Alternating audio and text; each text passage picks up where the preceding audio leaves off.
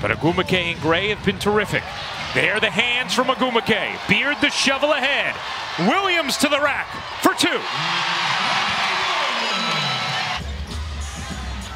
These teams meeting in an elimination game for the fourth straight postseason as Williams sticks the landing on a tray. Then we see one from Riquna Williams. They Stops. Tried to get it to fouls, instead found Ogwumike. Gray zips it up the floor. Williams, you bet!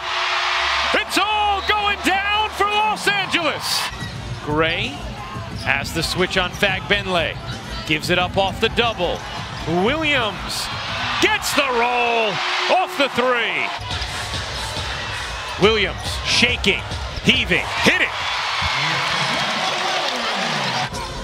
Seattle and Atlanta wait for the semifinals. Williams has another. Can't guard her.